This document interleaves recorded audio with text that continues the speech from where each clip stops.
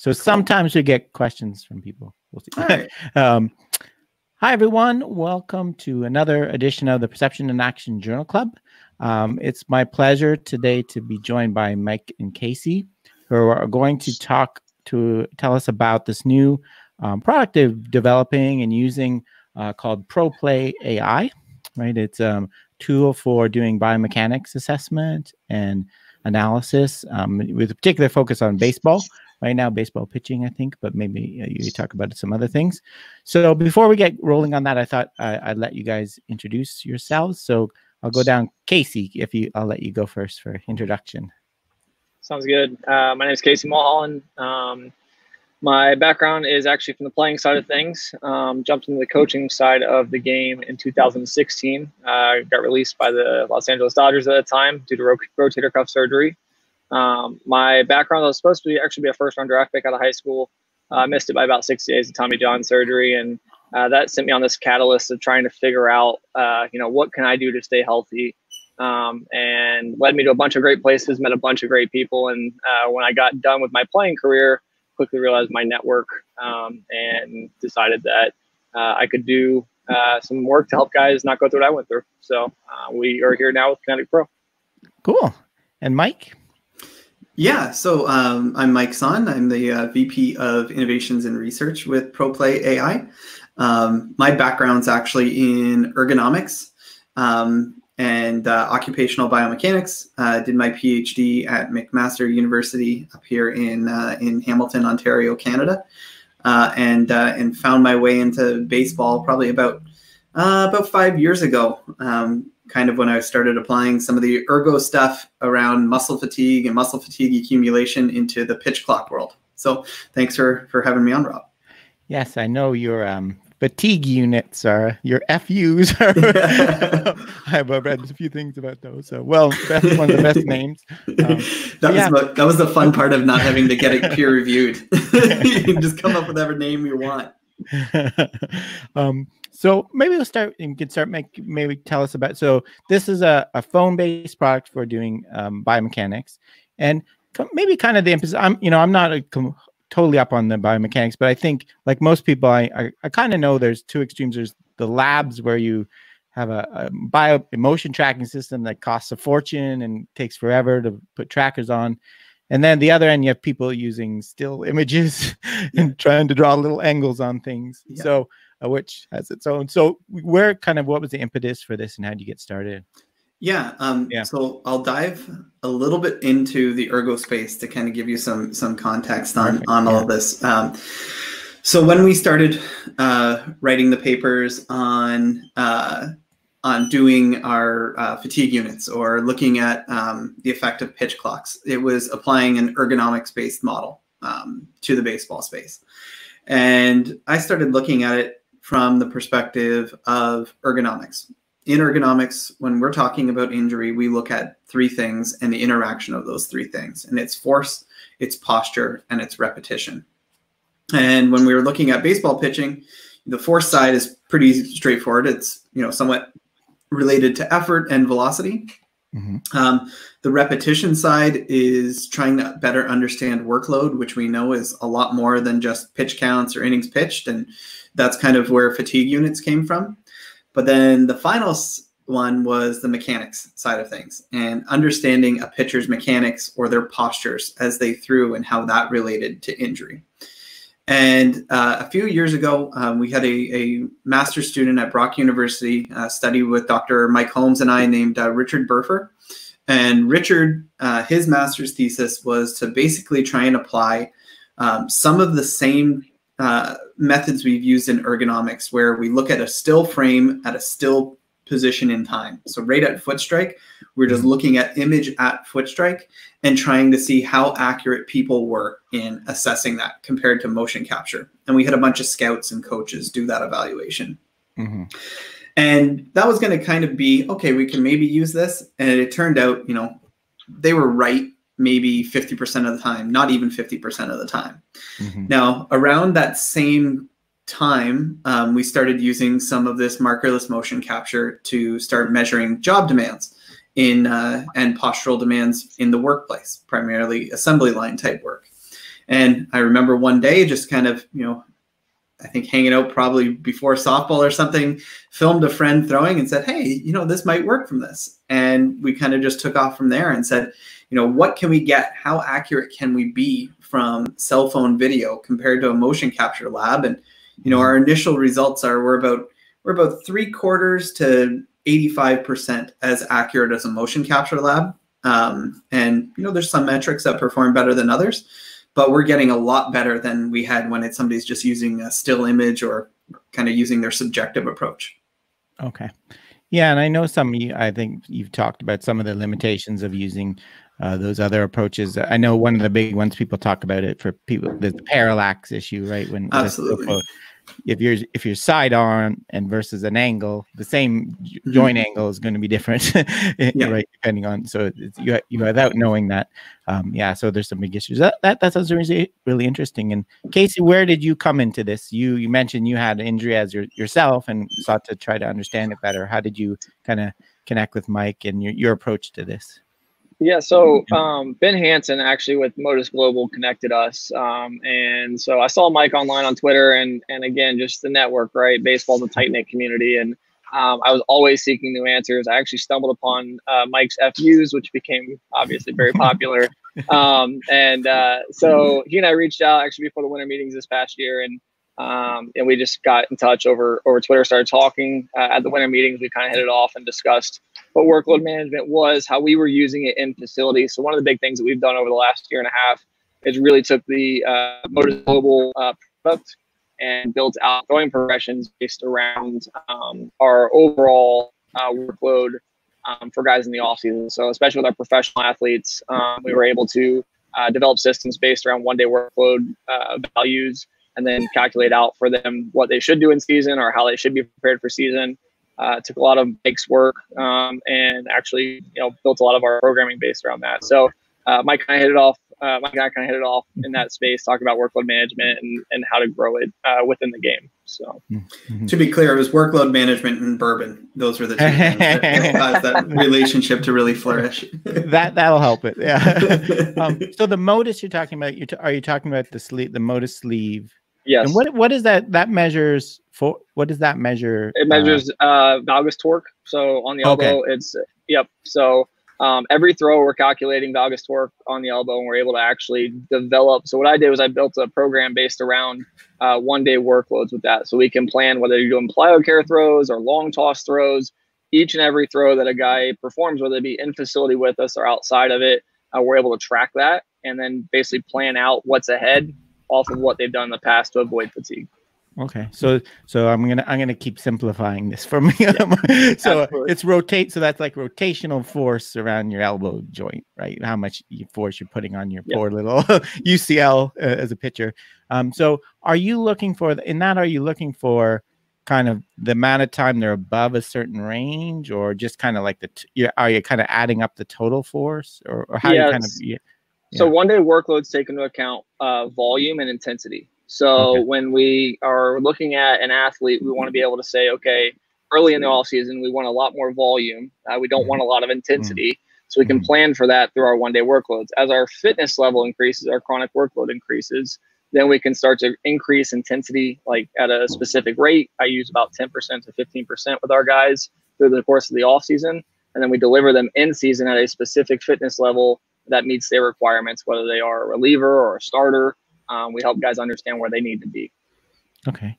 And Mike, so with the bio is the biomechanics connection trying to identify the the body positions that how they relate to force and kind of yeah yeah absolutely yeah. i think at its core that's you know we're mm. trying to understand what motion characteristics are related to elevated force levels on okay. the elbow or you know on the shoulder um, but it goes beyond you know just understanding it from an injury perspective as well like there are characteristics of movement and timing of different segments of the body moving through space that are related to uh, throwing harder um, throwing mm-hmm. more strikes um, being in more command so i think that's really where um, you know we're trying to present pitch ai and and the pro play as a company is to understand injury, but also to understand the things that go into performance. Yeah, no, I think that's a great point. And it's when I try to, a lot of times, something that's going to cause injury is also likely breaking the kinetic chain, yes. which is going to affect velocity or something along the line, right? So yeah, they, they work hand in hand. Yeah, I think that that's a great point. And so your your initial kind of approach with with this are you just you're collecting uh, data from a lot of different pitchers at different levels and kind of stat- establishing a database is that kind of where you're starting with this absolutely so yeah. you know before everything kind of went crazy we were we were in phoenix um, mm-hmm we won't talk about the golf game Casey and I had when we were in Phoenix. That never actually happened. Um, but the goal there was to understand two things. One, you know, how do high level throwers move? And to do that, it was really just a matter of capturing a bunch of in-game and, and bullpen data whenever whenever we could.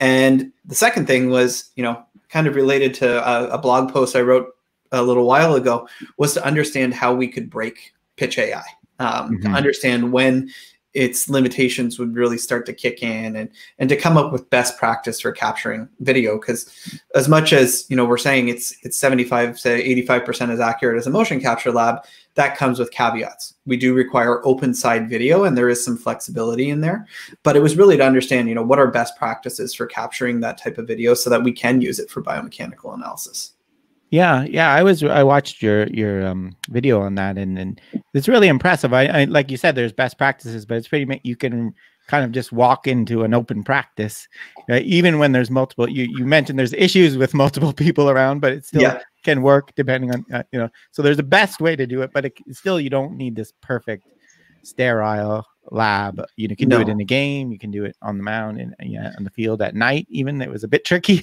but yeah, yeah, that was more that was more yeah. on the operator. Uh, I needed yeah. to adjust that ISO setting a little bit better. But uh, once I got that, we were we were looking pretty good.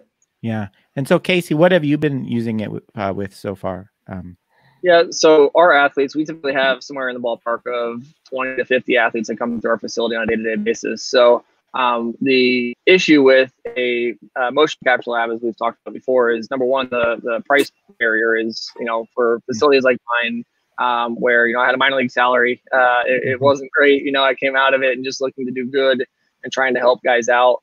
Um, you know, our business has grown, but we're still not at a point where we could afford three hundred thousand uh, dollar biomechanics lab.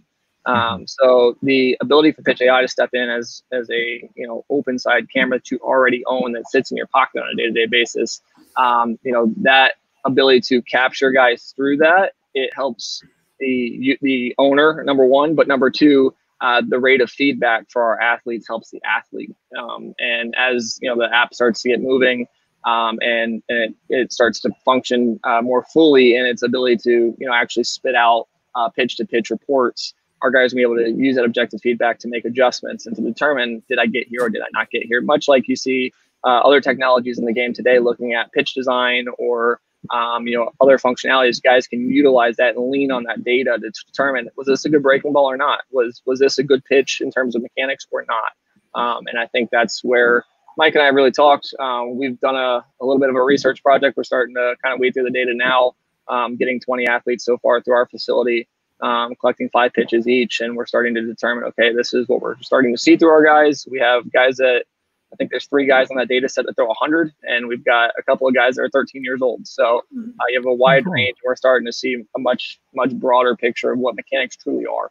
So, so you are you trying to relate kind of the mechanics, you know, a joint angle, you know, all the things you can measure to pitch outcomes, you know, this this tends to make for a higher velocity, that kind of thing. Yeah. Exactly. Yeah. We want to see what yeah. performance looks like. We know that yeah. there's a barrier to get to college. If a division one coach comes to a game and watches an athlete, the first thing he's gonna look at is he's gonna pull his radar gun out and say, Do you throw, you know, 85 plus or not? And if you don't, then he's gonna put the radar gun away and probably walk away. So. Yeah. And yeah, that, that's interesting The pitch. So I, I think people for the, the don't know the kind of pitch design you're referring to is you know you get a pitcher to let's move your finger slightly this way mm-hmm. slightly there and then see what it does. We can measure the break and everything on the ball now. So you're doing the kind of the same things with in terms of biomechanics you know try whatever bending your arm more striding longer and you can actually collect that data and show them. And do you actually show them the the i think you have kind of stick figure feedback right mike? Um, yeah is that what you're using mm-hmm. stick figures. There's there's lots of graphs and um, mm. you know just those charts. And, and casey's had a lot of success with communicating you know here's your leg angle and here's your shoulder and here's how they they interact in time um, which was something that you know i'm we're, we're constantly trying to make it so that we can make biomechanics more accessible. It is very heavily driven by complex measures. And, and casey's done a really good job of communicating with the athletes. And i think once you hit that kind of threshold with the athletes where they're understanding what you're saying and you can communicate it through numbers, you know, you, it really opens up a whole nother playing field. And, and Casey's done a great job with that.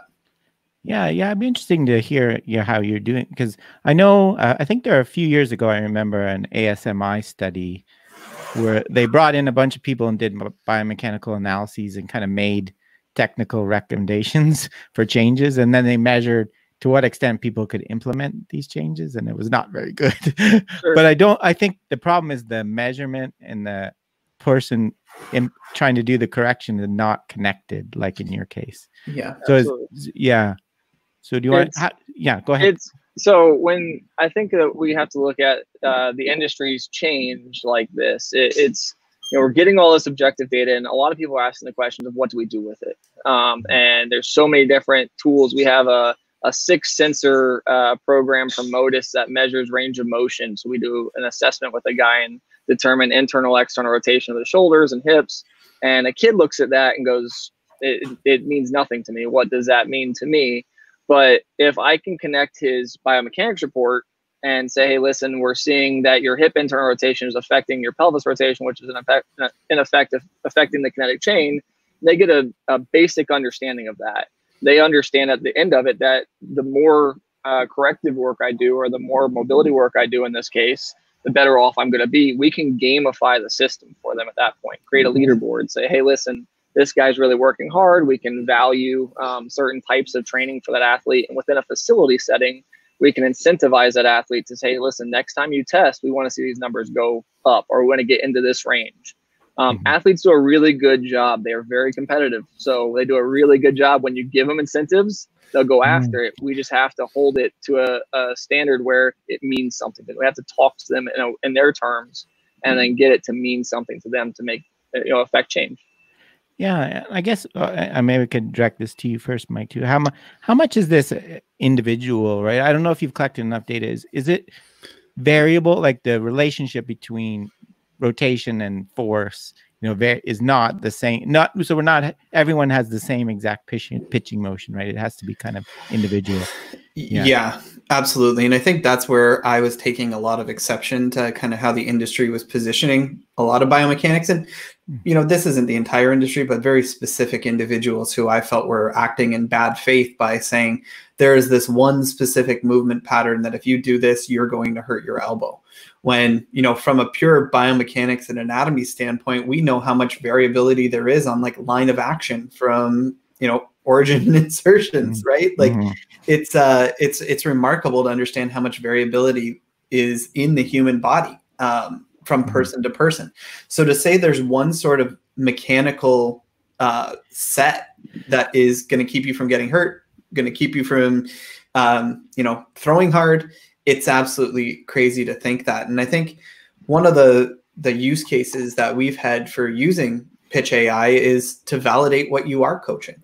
You know, if you're mm-hmm. using a cue constantly to try and get more external rotation or to work on lead leg blocking, you know, film the person, introduce the cue, film them again, and see if it actually made a difference mm-hmm. right you know rely on rely on the objective data that you can get out of this type of a process. And whether that's you know ProPlay or pitch ai or it's a motion capture lab or you know you're working with some sort of a video analysis um, you know you can't take a one size fits all approach to understanding mechanics. And you know not to to go too far off in a tangent but casey has a great story about one of his current athletes right now that if you were to look at this individual's mechanics you'd say there's three big things that they're doing wrong but then you look at the radar gun and it's 99 right so it's tough yeah. to say that there's a lot happening that's wrong yeah so yeah what what what about you casey what's your with kind of the individual differences and things you're seeing Yeah, it's it's the same. I mean, um, you know, I think one of the things I took exception to when I was younger was everybody kept telling me that if I don't change my mechanics, um, that I'm I'm gonna have Tommy John surgery, and and it, I ended up having Tommy John surgery. But if you put you know 20 16 year olds that were throwing 90 plus miles per hour in a room and you told them all they're going to have tommy john surgery you'd probably be more than half right um, mm-hmm. you know especially back then when we didn't understand or or really uh, you know quantify a single throw. Uh, we just looked at pitch counts, and and we know that pitch counts in, in and of themselves are are you know I don't want to say worthless, but uh, they're they're not good. Um, so uh, I think from a pitch AI standpoint, from a biomechanics standpoint, you know we start to look at guys and um, a lot of the the Twitter crowd. So you look online and you'll see a lot of information coming off of Twitter that's saying if you don't do these things, the same thing I was being told when I was younger, if you don't do these things, you're going to get hurt and it's just not not the case. You can you know pull out you know person after person after person that are elite level throwers, um, and you know if we're evaluating their career, their future. Uh, based upon specific movements that they're either getting into or not getting into, uh, I think we're missing the boat big time. So it's kind of really excited to see what Mike and and uh, you know the Pro Play stuff is coming out with. I think it's going to be um, somewhere that in the future we can shift the narrative a little bit and start to kind of poke some holes in this and look at, you know, like you're saying, more individuality of, the, of each athlete as they walk through, find out what works and what doesn't work, and continue to build on it. Yeah, no, those are great points. I know anyone that kind of follows baseball, you know, every time there's a video of some young pitcher throwing hard, there's ten posts about, oh, he's gonna blow at his elbow, right? Because he's doing the. But um, it, eh, this certain remind uh, article I just did yesterday on one of these um know, we have this kind of egotistical assumption that we know more than your central nervous system does about how you should be moving, right? You kind of know something. Um, yeah. Figured out something. So, but I guess another thing I could say, uh, connecting it, Casey, maybe you, we talked about, Mike talked about, you know, cueing, seeing if the person changes the movement. And then I think a lot of people, what people miss sometimes, is then actually, does it matter for performance, right? Uh, to actually measure, maybe we get them to do the more leg blocking or whatever, but it doesn't change velocity at all, you know, because a lot of it we get we think it will matter, but we still need to make that connection. Um, so you are you connecting the the, the performance measures as well? Yeah. Yeah. Ab- yeah. Absolutely. Yeah. Yeah. Yeah. Cool. Yeah. Yeah. Because I think that sometimes we don't we have these assumptions, and so is you know so the, uh, that's good. So the idea here is not to kind of identify key uh overall you know things that everyone has to have to to be injury to have effective program. Is it more? Is this approaching more individualized optimization? Kind of? Would you? I would yeah. say yes. Yeah, I would say yes. And um, you know, one of the one of the features that we built into the commercial version of the app that's going to come out in uh, in July is just the ability to take those two stick figures and compare against yourself very very quickly. Um, and and going back to some of the the research that we've done here um, with uh, Dr. Holmes and and Ryan Bench and Richard Burfer, uh, we put together a systematic review on kinematics as they pertain to fatigue during pitching, mm-hmm. and I think that's really going to be where one of the most uh, exciting utilizations of the tool is is an understanding how does somebody change throughout a game you know how are your mm-hmm. mechanics changing? Are you moving away from you know that lead leg blocking or are you you know not uh, optimizing your kinetic chain quite as much as, as you were when you were fresh? And you know maybe that is theoretically putting more stress on the arm. We can start getting at those individualized changes i think as somebody performs. And i think that's really where the exciting stuff is right? Is you're going to see some people who maybe their velocity goes down, but they keep their mechanics constant. And that person may not be at risk of injury. But from our, our review paper, what we found is that changes in kinematics typically happen before we see a change in their performance. And they are now transferring themselves into a different sort of movement pattern where they're putting more stress on their elbow or on their shoulder so that they can maintain performance. So if you're just looking at that one measure, um, chances are you're not getting the full story about how somebody's you know risk of injury is changing. And I think the same thing happens you know with somebody in Casey's facility there.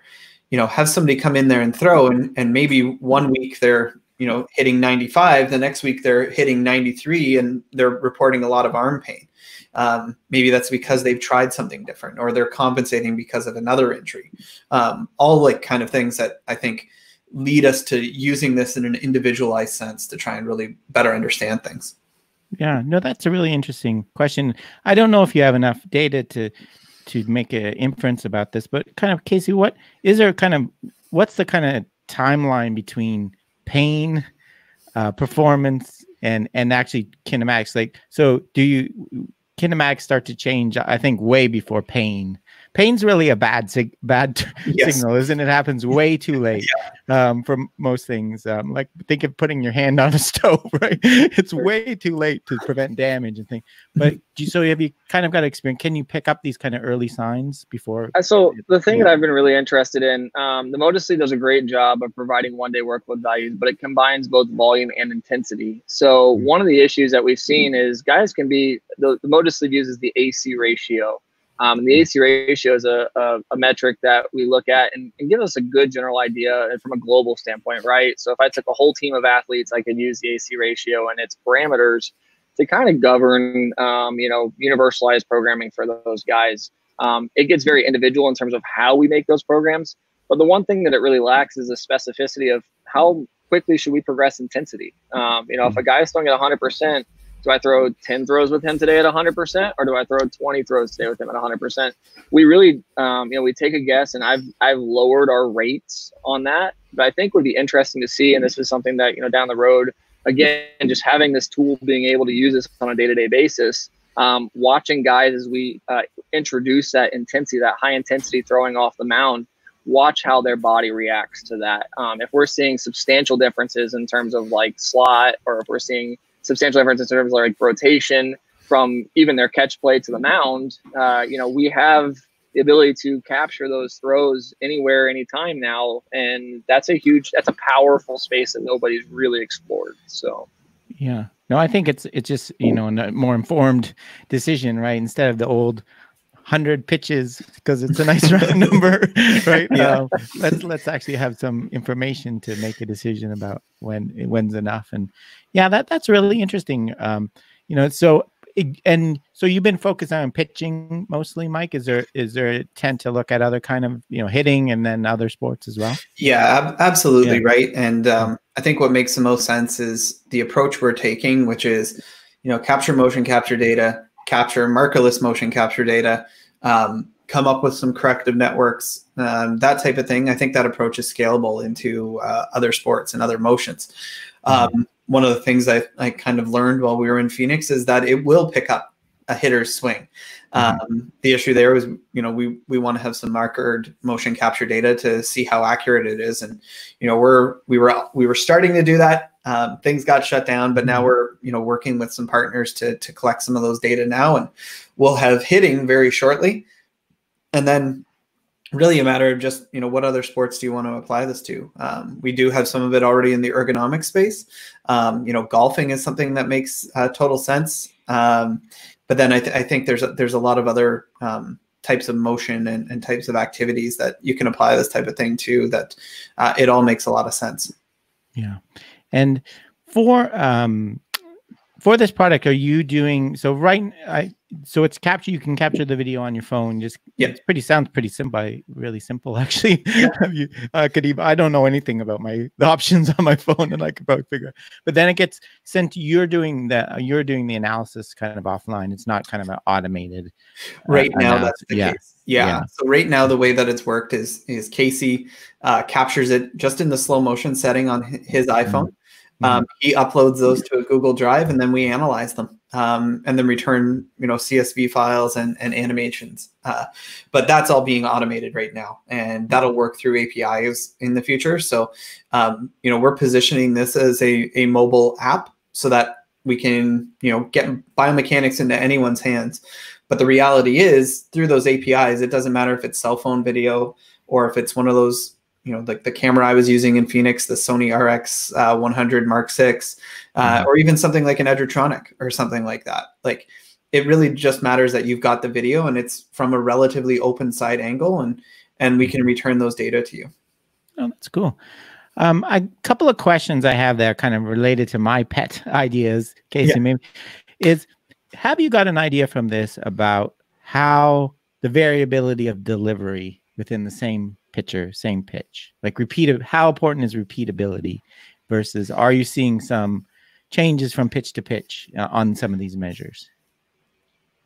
Yeah, from from my end of it, um, you know, we I can tell you this from looking at ball flight data uh, alone, right? Before mm-hmm. we even jumped into the, the biomechanics space and, and started to work with our guys more consistent with the biomechanics space, we were seeing you see variability of, of, pitch to pitch almost every pitch and and then you start to see it from a biomechanics space and you realize just how drastic the changes are uh, pitch to pitch on most guys um, now timing and sequence is, not necessarily um, you know I like to say drastic. You graph it, it looks drastic, but you know we realize how small of a time frame that really is. The body is repeating itself. So um, I think it, it's it would surprise most coaches to know that the arm slot changes, you know, a uh, specific amount of, of degrees, you know, athlete to athlete. Some guys are better, some guys are worse.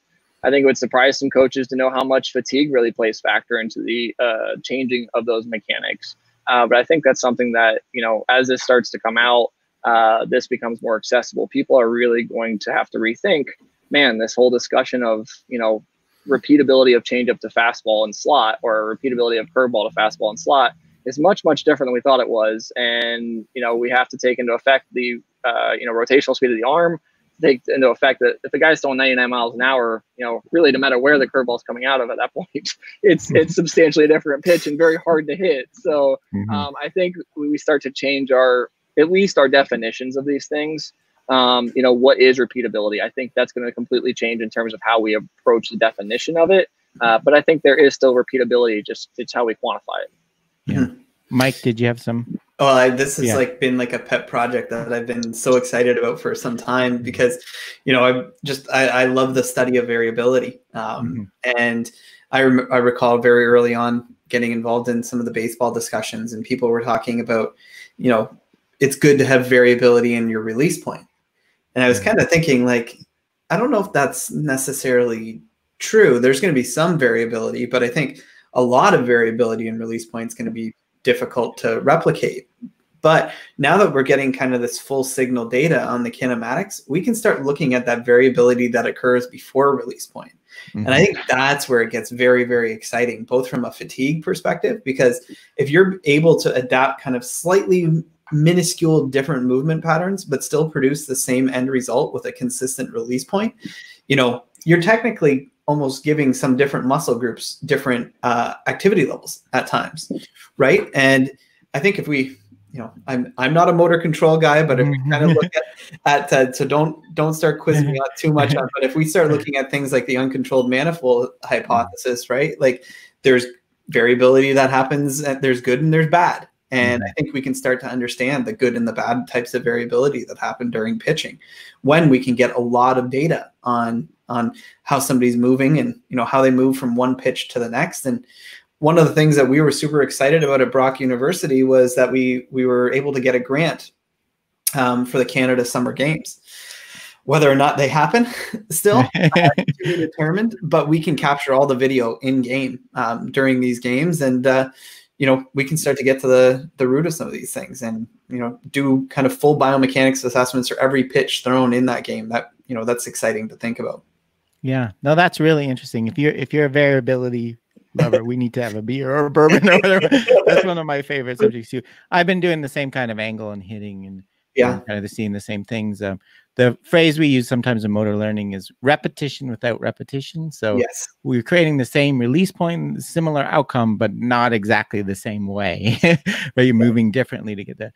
And uh, but I really like. I haven't really. I've I've speculated about this a few times. The injury angle. Uh, yeah. So we talk about rep doing things differently each throw is necessary because of just the way the body is. It, you, mm-hmm. But but the idea that that might actually be beneficial in terms of reducing injury I think is a really neat idea that no one's really explored. I don't I don't know. Uh, yeah, and I I know like um, to to some extent here, uh, mm-hmm. like Stephen Oster, Dr. Stephen Oster, he works for Cleveland now, and mm-hmm. He's um, he was the former uh, performance director for baseball development group and he was big into understanding variability and and he still is. He's just doing it behind the iron curtain of professional baseball now. Yeah. um, so, but understanding variability from that perspective right this comes back to what we know about variability within um, the ergonomic space. Uh, those individuals who have more task variability reduce their muscle fatigue and sometimes they uh, they they reduce their injury rates right mm-hmm. like but the ability to use different muscle groups the ability to recruit different muscle groups and to change your arm action and to vary the amount of torque that's placed on certain parts of the body i think that's absolutely instrumental to to keeping people healthy and i think it is one of the things that we miss from you know all of our current analyses because we haven't been able to really capture it mm-hmm. And the, the other one I was talking about, kind of related, you know, I, I call it um, kind of functional variability is, mm-hmm. you know, how how the different parts of the delivery work together, right? So I don't know if you if you'd be able to capture that in your. So if I'm slightly early on whatever par- early part of a pitching delivery, how can I compensate for it later on by changing my shoulder rotation? Or Casey, do you have any, you know, like adjust? Can you can you assess that or in your ideas on that? I, I, think a lot of it comes down to, you know, in the baseball space, we talk about drills all the time, right? Mm-hmm. Everybody communicates and says we want to use constraint drills or, you know, mm-hmm. PlyoCare throws. I think a lot more, and something that's not said enough is that it really comes down to what happens in the weight room. It's probably more effective to what actually occurs on the mound. Um, you know, when we talk about mobility and stability, uh, I'm not going to be able to develop that having a kid throw a, a eight ounce or five ounce PlyoCare ball into a wall most days. Um, you know, we talk about rotation and, and the importance of the different segments, understanding controlling different segments.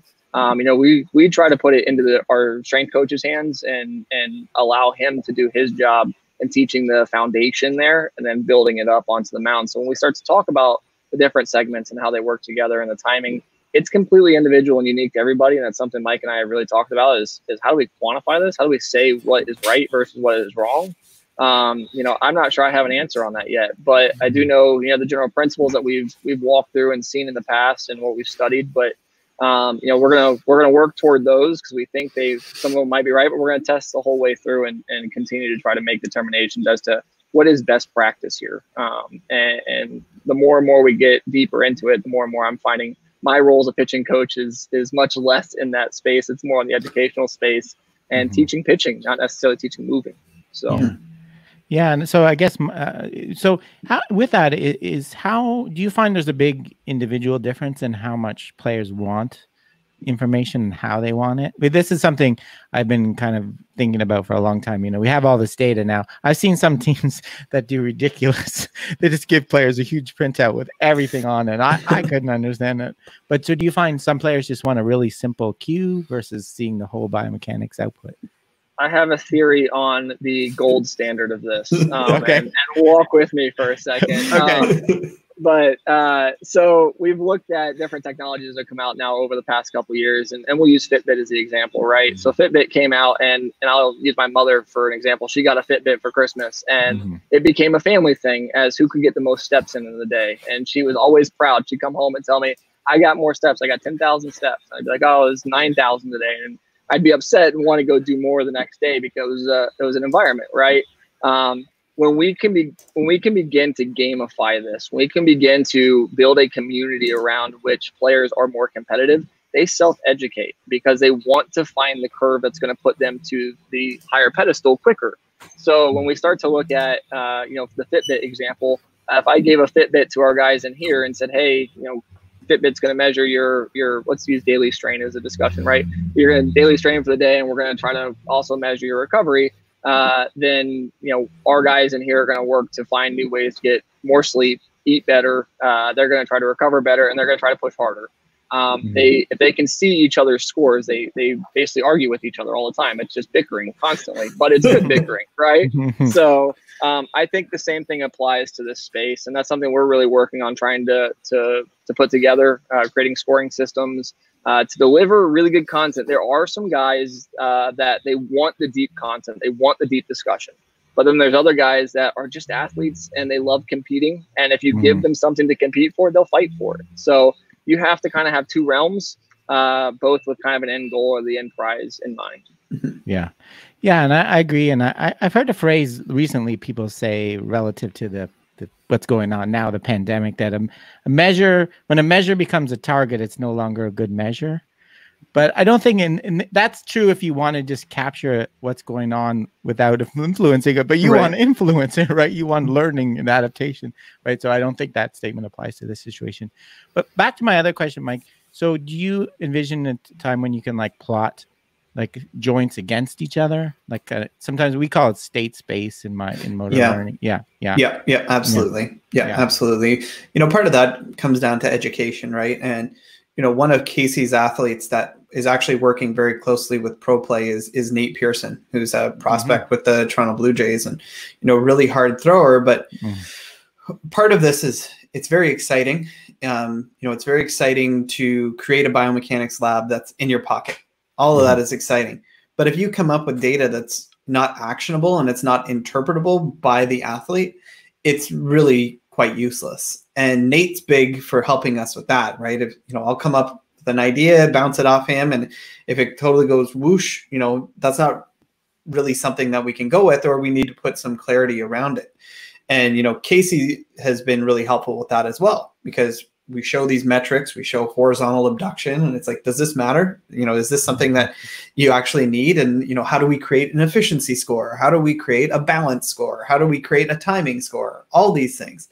Um, it really comes back to what you know the goal you're trying to create with your throwing motion. And you know casey has an interesting story of an athlete recently who's coming back from an injury and he's like i really want to get my my my biomechanics assessed. I really want to. And Casey's like, no, you're not seeing that data because it's just not the time for it in that process, right? So, mm-hmm. you know, it's important to get the input of the person who's consuming the metric in the metric design. I think, um, but you're totally right in that sense, right? Like one of the hesitancies that we've had in creating like an overall, this is how good your mechanics are score, mm-hmm. is that I think it's something that, you know, as somebody ages, their mechanics might change. And it doesn't mean that they're getting worse. It means they're adapting to their body and their body as it gets stronger or it becomes less flexible or you know starts to feel the impact of years of doing a motion that is not inherently good on your body mm-hmm. right like you know what good mechanics are change over time and you know i think it's more about coming up with metrics around consistency around balance, um, you know, and, and, and getting into that that space a little bit more. Yeah, no, I think that's a great point, and another, another like that made me think of something in in sports psychology. Some one of the things we obsess over sometimes is getting athletes focusing too much on their own body. Mm-hmm. You know, we, we that's a theory about why people fail under pressure. We try to use external cues instead of internal. Casey, does this does this and you have any tendency to get people to do that when you give too much biomechanics feedback? Do you worry, do you worry about that at all? Absolutely. Um, yeah. And we try to structure our schedule accordingly. So I'll give them, I'll allot them days where I said, look, you can think. I'm okay with it. You know, we want to get to a wall. We want to find different drills, different patterns. These guys want to explore what they're trying to accomplish. Um, and, and one of the beauties of workload management is, you know, you have a set value for the day. So getting to that value, depending on how we, you know, how they choose to get there, really doesn't matter as much to me as long as they get to that value. So we'll have guys throwing short boxes or you know short, uh, you know, pitching outings on a Rapsodo or other technology where they're spinning breaking balls and things like that.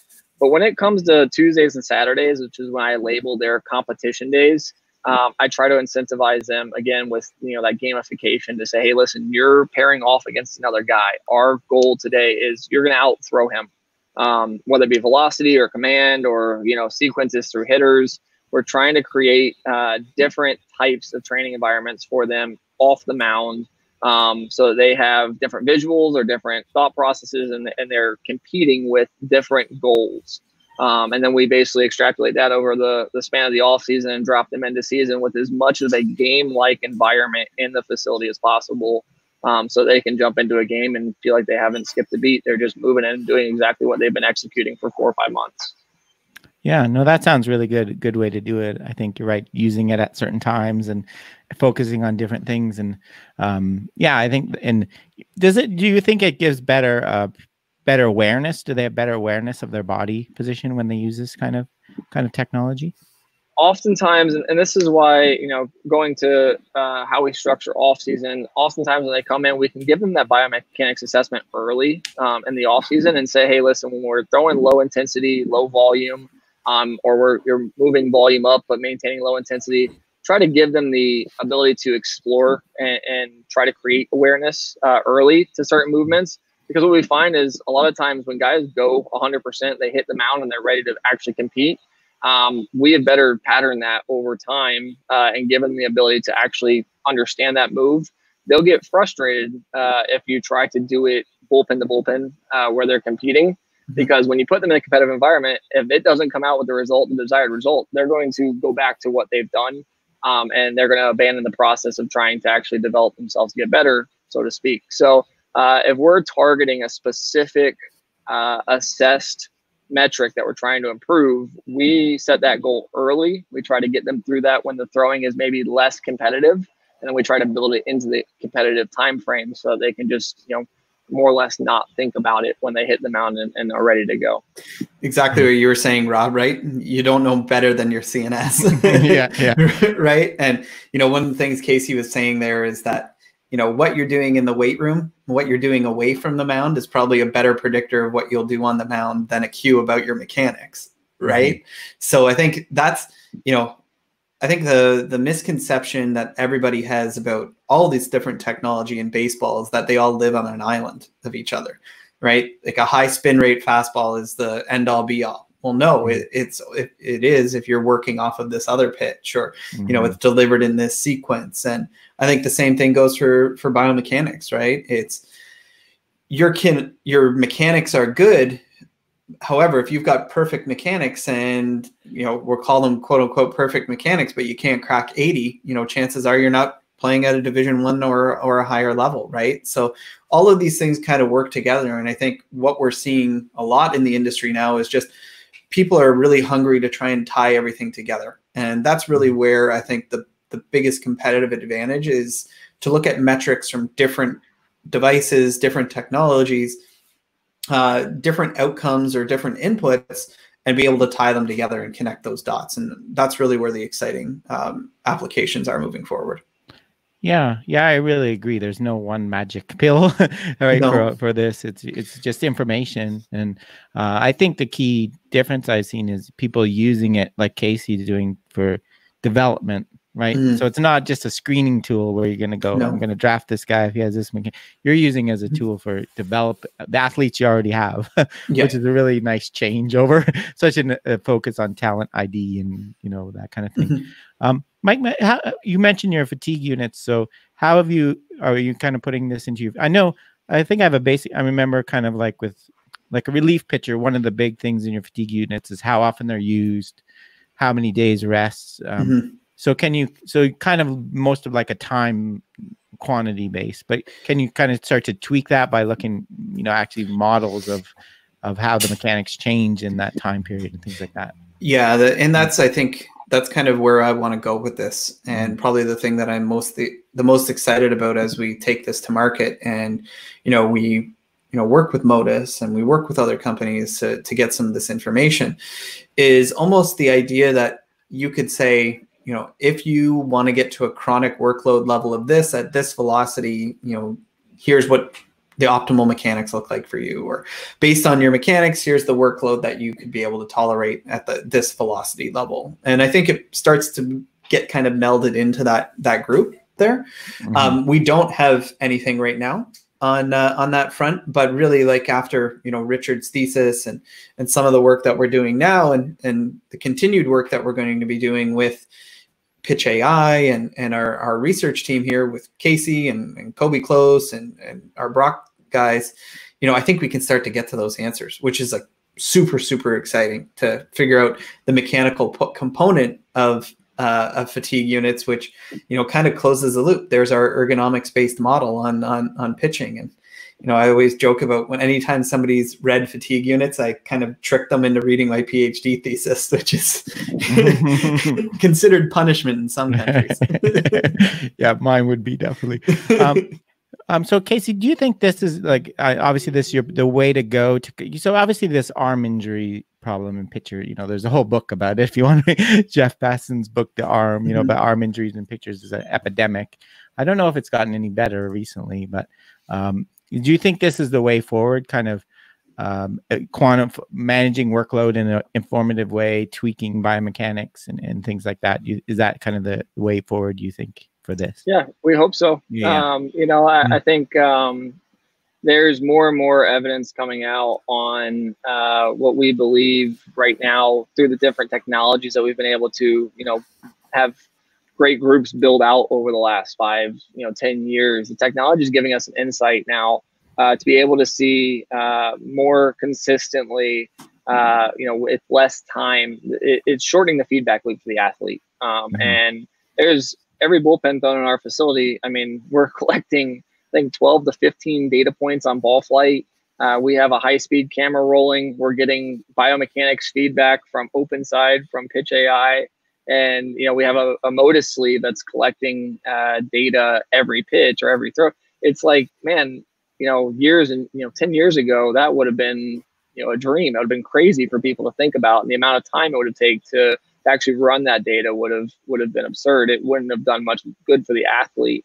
Um, I think the, the big issue is we're running into an educational issue um, with, you know, coaches and athletes where you're getting so much right now from so many very smart people that uh, understanding, you know, trying to stay up to date on what's the latest metric to come out and, and understanding how to utilize it to develop your model uh, you know, it, it takes an it's a night and day thing. I don't I don't sleep much. Um, you know, I, am reading a lot, yeah. constantly trying to talk to my network and trying to see what's out there. But um, you know, you want to do what's right for your athlete. You want to do what's best for them. And and I think you know, building uh, there's gonna be a lot of other facilities like ours out there that are taking all of this in and trying to build their own models of their own development style. Um, and you know, trying to just help athletes get better. It's really what it all comes mm-hmm. down to, right? It, it's not about uh, it's not about us or, or you know all the flashing lights when a guy throws. It looks cool, but uh, mm-hmm. at the end of the day, if it's not doing us any good, um, and we're not reevaluating our, our you know our systems on a day in and day out basis, then we're just not getting better. And and the athletes are going to eventually see that and go somewhere else. So yeah, yeah, I think it's a really more realistic approach than you know the idea we have to force kids not to throw like telling them if mm-hmm. I, I want to be a baseball, my dream is to be a baseball pitcher. Well, you can't play baseball in the summer. You know, you can't yeah. play, well, you can't play all year round. You got to do another sport. You can't go to these showcases. You know, maybe that's better, but it's unrealistic. And then just to have hard caps of not throwing so much without any, you know, basis for it. I think mm-hmm. this is much more realistic way. You, you, have to accept they want to do as much as they can, and they're going to, mm-hmm. right? and, and it, so you have to do it in a, a safe way. Yeah. So I think that's a really uh, a good approach. Um, so Mike, kind of wrapping up here, Mike. So where does kind of this stand if people are interested in this and and want to learn more and you know potentially use it and when it when it's available? Mm-hmm. Yeah, yeah, so our website is proplayai.com. Mm-hmm. Um, I'll be regularly posting updates there on on some of the the research we're doing to develop the tool. Um, you know, follow myself uh, at Dr. Mike Sonne and mm-hmm. follow Casey on Twitter. We'll be releasing all of the the exciting research that we're putting together and um, we're expecting the app should be available in July. So that's when we'll start rolling out uh, invites to the to the product um, get people capturing mechanics uh, directly on their phones all all across North America. Pretty exciting. Yeah, that sounds great to me. like more data, the better. Yeah, of course. yeah. So, uh, well, thanks very much, guys. I really appreciate this. A lot of fun. Yeah, absolutely. Thanks a lot for having us, Rob. Appreciate it, Rob. And this live.